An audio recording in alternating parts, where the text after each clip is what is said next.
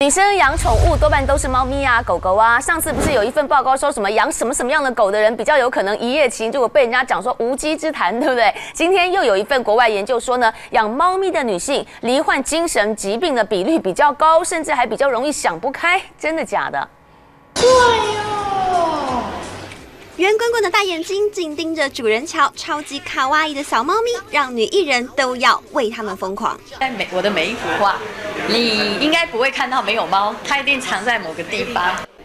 十几年来养了五只猫，名主持人吴淡如就连绘画作品当中都可以看得到猫咪。但最近一份国外研究却发现，养猫的女性竟然自杀率比较高，让这些爱猫城市的女艺人们都说不敢相信。爱撒娇，也难怪会惹人疼爱。但报告却显示，这种叫做弓浆虫的病菌会寄生在猫狗身上，只要让宠物吃生肉或是遭到粪便感染，都有可能会让主人也间接感染。最严重甚至会导致男性不孕，怀孕的女性流产，自杀比率也高出一点五倍。流浪猫一般理论上会比较多，但是实际上我们去检测出来的不多。